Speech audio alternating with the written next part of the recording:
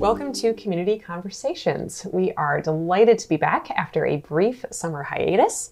I'm your host, Hally Ammons, and as the Assistant Director of Government and Community Relations at Villanova University, I am so happy to bring you the extraordinary people making an impact on our campus community and beyond.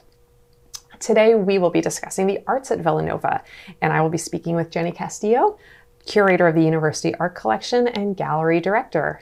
Welcome, Jennie. Thank you so much for joining us today. Thanks for having me. Of it's great to be here. Oh, my pleasure. Our pleasure. Thank you. Um, I don't know that a lot of folks may even know that the university has an art gallery. So, first, I'd love to have you talk a little bit about the history and the mission of the gallery. Sure. Um, so, I just recently joined about a year ago. Um, before uh, before me was um, Father Richard um, Cannuli, who had I don't know, big shoes to fill, that's for sure. He was with the university for a long time and started the gallery. Um, he also taught classes and everything else. So I'm still trying to kind of, I'm, I'm not going to fit in those shoes, that's for sure. Um, but he had some really great um, exhibitions up and things like that. And when I started, um, it was kind of a goal of mine to make sure that the students knew the gallery existed. Um, so we're located like right in the Connelly building, which is the student union building. And it really kind of broke my heart that a lot of students hadn't even known that it was there. Um, so a lot of my outreach for the past year has been more social media based. And, um, you know, I even started a TikTok account and oh God help me, um, Facebook and everything else. Um, so a lot of the focus has been more getting students in the door. So the summer we had a really great renovation. Um, so new kind of hardwood floors and very clean walls and kind of elevating the status of the gallery. Um, but another goal is just to make it feel accessible to students and the, the community. Um, I feel like art can sometimes be a little bit not scary, but intimidating. Mm-hmm. Um, and those spaces feel intimidating because mm-hmm. they're very clean, very white walls. Um, so for students, I want to have, you know, chairs and places for them to bring in their laptops and their coffees. And, you know, my main goal is if there's like an engineering student or a nursing student who like looks up and is like, huh, mm-hmm. good that's all I need, right? Um, not even, wow, I love that. Although that would be like extra points, right? so the mission basically is to just, um, we, we collect a lot of works from mainline artists and Philadelphia based artists, a lot of um, PAFA grads and things like that. Um, so a lot of the donations that we get are based in this area. Um, but a lot of it also goes internationally. We have Renaissance pictures, we have, you know, American portraits, we have a wide range of things. That's really fascinating and something that when I started at Villanova, I did not know, yeah. and is uh, just a really incredible uh, part of the culture of campus. Yes. And I feel like the art gallery, and I've seen the renovation. It looks amazing. It's gorgeous. Thank you. And it's such a great. It's a little bit of a hidden gem. Lots of folks yeah. understand that there's an arts tradition at Villanova. We have the wonderful Performing Arts Center, yeah. which is fantastic. And I really am so excited for neighbors to know what is on campus and to, to invite them into that space. And the fact that it's it's free, um, it's open all the time because the Connelly is open until like midnight. Mm-hmm. Uh, usually we close the gallery, I think about 7 p.m., but it's open on weekends. It's a nice place to like bring kids, grandkids, you know. Um, and the public has access during all of the opening hours. Oh, definitely. Yeah. Um, they could just park right in, I think it's called M2, mm-hmm. but you know, like the SAC garage. Mm-hmm. Um, and then they can just walk right in. Um, the person at the gate at Ithan Avenue just will point the direction. That's wonderful. That's, yeah. And I feel like that may be, you know, really important for our neighbors to understand how accessible yeah. this space is to them as well. And being on campus, especially this time of year, is a really great thing. The the energy is really wonderful. Um, I don't know if you want to talk a little bit about some of the previous exhibits uh, that that you have overseen. Sure. Even feel free to talk about a little bit about your own uh, professional history about sure, how you came to Villanova. I, I think that folks would love to hear about that. Um, so yeah, if you want to talk about some of the things that, that you have uh, brought to the gallery so far. Sure. Yeah. Um, so I started um, kind of the art world in the art world um, as a a very low man on the totem pole, so to speak, um, an intern at um, a gallery on the Upper East Side. And then I worked my way up to director there. Um, and Upper East Side of Manhattan, sorry. Uh, and I was there for 10 years. Um, so I learned a lot about what to do, what not to do, um, what works and what doesn't, what paintings play together, and what shouldn't stay on the same walls. Um, and then after that, I worked for an art technology startup company called Art Bank, um, which can provide value of artwork. So um, you take a picture with your phone, and it does the fair market value of what it's worth if it's something that's bought and sold in the secondary market. Mm-hmm. So my background is very varied, and it's always been wearing many hats, mm-hmm. which is why, like, when this job came up, to be around students and have that energy that you mentioned mm-hmm. um, in addition to being able to do like the marketing and budget and you know it's a it's a strong army of one yeah. um, i'd like to think um, so that's basically my background and um, since i've been here we've had a few a few exhibitions um, my first one was um, modern masters works on paper mm-hmm. so as you mentioned a lot of people don't know we have about almost 10,000 works of art in our collection. Um, and a lot of great works on paper uh, by what I would consider modern masters, like blue chip, amazing artists. Um, so that was my first show. Is I I kind of got a selection of those, um, and then uh, since then we've done a student art show. Um, last spring we brought um, a pre-Reformation Irish chalice I don't know if you got a chance to see that. It was really, yeah. really something else. It's really yeah. cool. And then we put it in. I put it in conversation with um, a contemporary artist who works in New York in like mm-hmm. fiber arts. Um, so are these like prayer banners. Mm-hmm. Um, so even if some people don't really understand or can appreciate contemporary art, what I'm really trying to do is like as I said, is make it more accessible, mm-hmm, right? Um, mm-hmm. kind of put it in a context, especially for an educational standpoint. Like art has taught us so, so much, much for, for so many years. It's, it's always been a didactic way. So right. I figured, you know, Villanova is a great place to do that. it's the perfect context. Yeah. You're sort of bringing those two worlds together. Yeah. One thing I really love about the gallery is not only its accessibility and its openness to the public, that also that the openings and the receptions um, and time with the artists are also available to the public. I don't know if you want to talk a little bit about what that looks like and, and when you open a new exhibit, what happens and what can the public expect? Sure. The last one we had was called Outcry, um, which is a very intense but beautiful exhibition. Um, Whitney Bradshaw's a Chicago based photographer, and she takes portraits of women screaming. Mm-hmm. Um, so it was mostly in um, connection to the Me Too movement. Um, and it gives women a space, like she would hold these scream sessions, and it gives women a space to actually physically scream, um, which a lot of women are told, you know, to be silent, be quiet for years and years and years. Um, some people even have those dreams, those reoccurring dreams where you can't talk mm-hmm. and you can't scream. Um, so when we had her opening, she actually did a Q&A with one of the grad students on campus who's a women's studies major um, and in theater. Mm-hmm. Um, so I think those kind of conversations are really important um, because it's not just an artist talking about their work, they're answering questions and they're engaging with what we want to know or what students are curious about. Um, after the our next one is um, Cole Sternberg. Mm-hmm. It's called Thirsty While Drowning. Um, I think the community is going to have a different view of that one because mm-hmm. it's going to be actually um, large scale, scale murals on the outsides of some of our buildings. Um, so driving down Lancaster Avenue, uh, you might see it. I personally, I can't wait yeah. for that exhibit. And just to touch back on the outcry exhibit, I did get a chance to see that. It really was so powerful. And it really does, you know, I feel like a lot of folks, their perception of art galleries and art is that these are things that happen in museums and with people who create them that are no longer available to us. Sure. And it's so wonderful to have the creators come in speak to their work, speak to the community, create that catharsis um, that I think is, is, what art gives us in so many ways. Um, and I do want to talk about Cole Sternberg because I know he, I understand he has a Villanova connection. Yeah, he graduated from um, the School of Business, I believe, in 2001.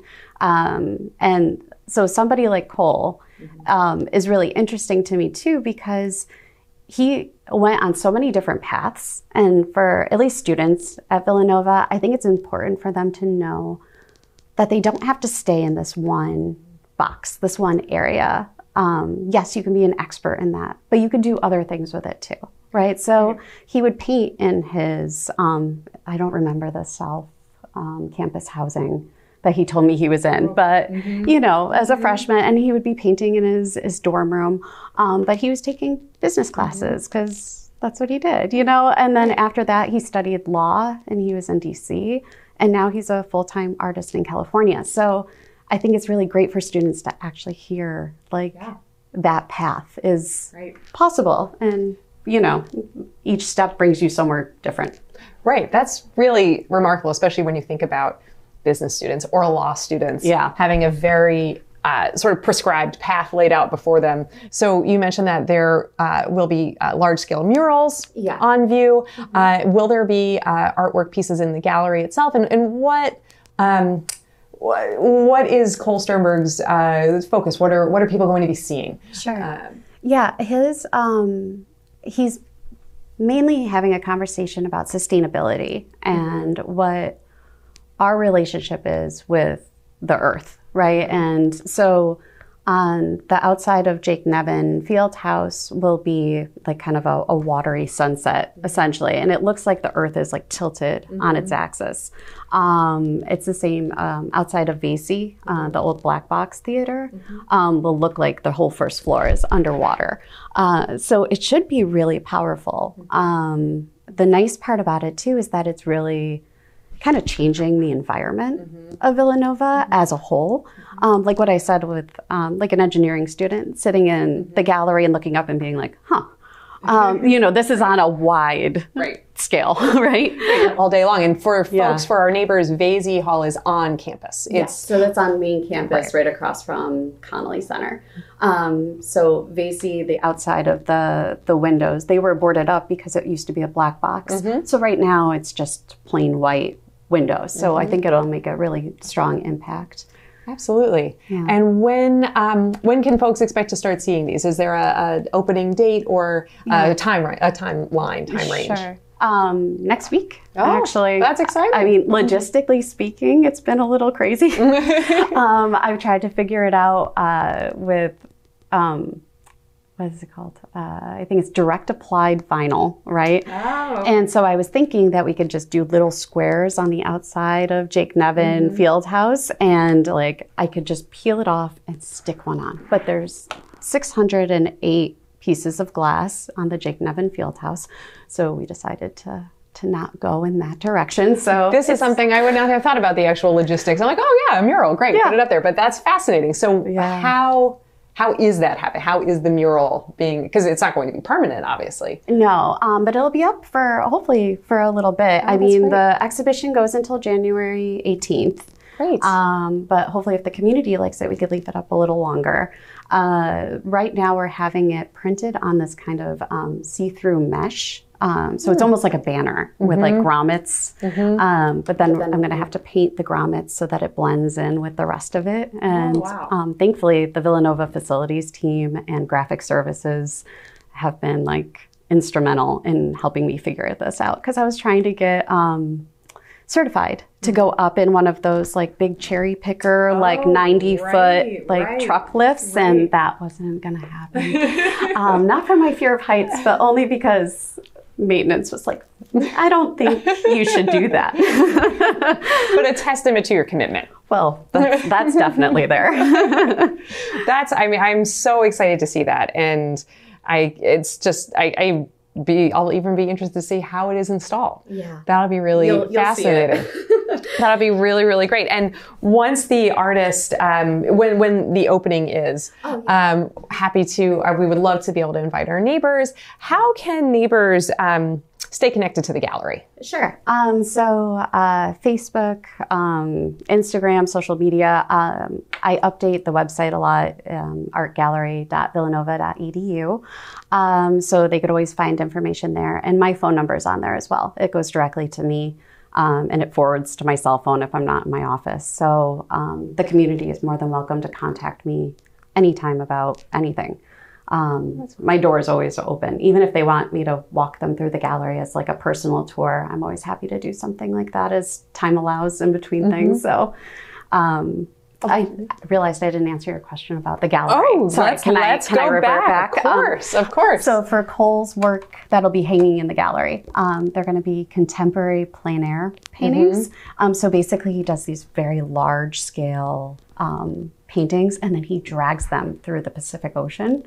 Um, so it kind of is takes, that what plein air refers to? Usually it means like painting outside. Okay. Um, uh, but usually for this, it's like it's just a whole different Wow. thing. So it takes all the brushstrokes out of it Mm-hmm. and changes just the way it looks, you know. Yeah, Um, I would have. It probably just changed the whole composition. That's Exactly. I didn't realize that was part of his technique, dragging it through the Pacific Ocean. Yeah. Which I think is just like, it's so different. That is very, very different. That is, and and he well, and he's of course a resident of California, so he's got access to the Pacific Ocean. Exactly. That is fascinating. I cannot wait to see. And they're large scale. Is that? yeah, they're about like seven, a lot of them are about 70 inches, Wow. which is, you know, size of a small human. That'll be really impressive to see. And the artist will be here for the opening when Yeah. that occurs, and we'll definitely let our community know. Yeah. Um, that'll be a fascinating uh, discussion. Yeah, I would love to have them. It's um, November 3rd from 4 to 6. Great. So I tried to hit like a little after work, a little before work for those of you want to leave early or That's great. I, that's I, I love that time personally. I think it's a great time, um, and it's a it'll be a really nice time to uh, enjoy campus too, especially Yeah. in the fall. Um, but that will be such a fascinating uh, discussion. I know you mentioned how you get exhibits, and you exhibits come from the community often, from the local community, or from Villanova's own collection. Let's say there are artists out there who want to contact you about potentially requesting an exhibit. Can someone do that? Is that yeah. something? That, how does that work? Um, that's actually how I found Lori Wool, who is part of our um, um, that that one I told you about with the uh, chalice. You know, um, she had contacted me through email. Um, so our gallery at villanova.edu. Um, anyone who is a practicing artist or, or knows somebody has seen something in a gallery who thinks that it would be a great exhibition to bring. We usually do um, exhibitions a few years in advance if we can. Um, so it might be something that ends up on a schedule a little bit further down the road. But I'm always open to hearing what kind of talent is out there, or, um, especially if it's a community member and things like that. So That's excellent. I, I feel like we have such a rich community in, in this area. There's so it. much here. So Yeah, I have so many contacts I still need to make with like the Wayne Art Center, and you know, I passed it on the drive, and I was like, oh, note to self, you know. no, there are fantastic resources and just so many um, uh, creative folks that are uh, in our in our community. We're so lucky to have them. Um, the other side of that, let's say I'm not an artist myself, but perhaps I've amassed a wonderful art collection that I would like to give to to Villanova. That's very generous of you. We will happily accept that. Can I donate my art to, to Villanova's art collection if I if I would like to? And how do I do that? Yes, and most of the things we do have um, are gifts from the community.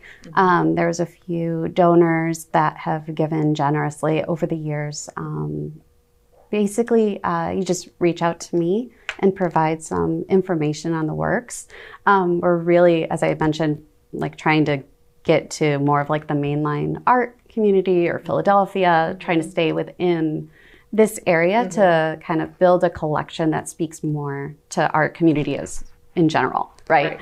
Um, I am really looking for a lot of like blue chip is what we call blue chip artists. So like um, you know a little bit more like higher up on on the scale of the secondary market, things that sell a little bit more that are bought and sold at auctions and things like that, um, just to to make it a stronger collection. But um, we appreciate any kind of any kind of gift um, financially too. Um, I know you can always go on the uh, forget their office name, but there's a website on Villanova. Thank you. Yes. Yep. um, you could always go on Advancement's website and say that it's for the art gallery and donate that way too.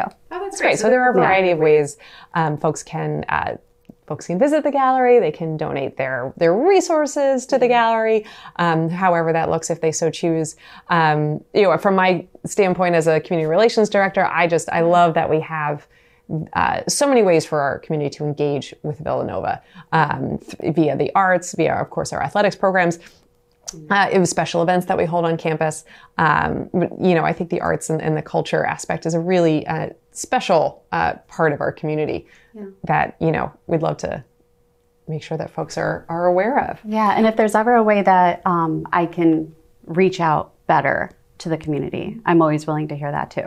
So if people are missing shows and they don't know why, you know, we have a mailing list, sign up on the website, great, um, great. email and physical postcards that you can get in the mail, things like that. So the more communication, I think, the better, always. Excellent, excellent, great. And you know, I think something uh, our conversation today hopefully will bring this to, to more folks, and then they'll be reaching out or or just taking a walk over. Those are all my questions, but I wanted to make sure that you had an opportunity to bring up anything uh, before we say goodbye for today. I'm just so excited and uh, for all the good things that are coming. So happy you're able to to join me today.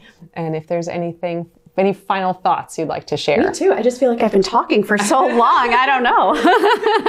well, this was a really, really wonderful conversation. Thank you. Thank you so much for joining us. Once again, this is Jennie Castillo. She is the curator of the University Art Collection and gallery director at Villanova University.